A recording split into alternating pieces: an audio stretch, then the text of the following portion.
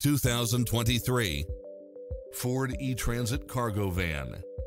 This van transports any and all cargo to its final destination.